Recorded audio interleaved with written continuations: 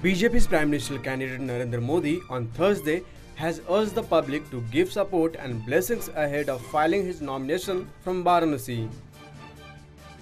He tweeted, Friends, today I will file my nomination papers from Varanasi. I seek your support and blessings as I embark on this journey.